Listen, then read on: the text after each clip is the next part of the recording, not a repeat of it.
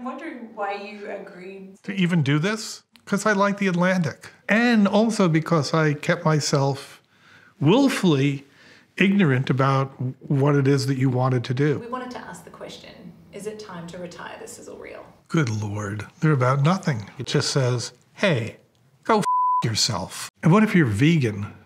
Which I'm not. The idea of a sizzle reel sounds to me like bacon on a griddle. I'm Errol Morris, for better or for worse, and this is a film about sizzle reels.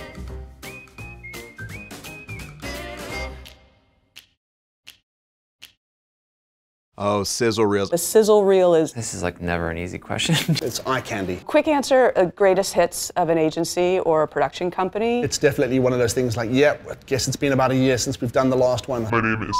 Yeah, I've made a sizzle before. There's a certain style to sizzle reels and there's a certain language that gets used. The sizzle itself has never been reinvented. They're pretty much the same formula every time. Super cutty. Three seconds max, two seconds, one second. Facts. Mixed media, Drone shots, big compelling landscapes. A lot of celebs. Look at this, look at that. Just making statements about their purpose. We do this, we do that. It went viral, and then they show like 4,000 weird Twitter mentions of their thing, which may or may not be true. You should like us for such and such reasons. And it becomes this sea of sameness.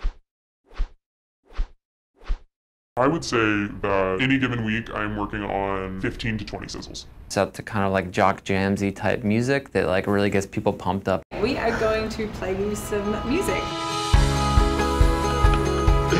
It's so on the nose, it's funny.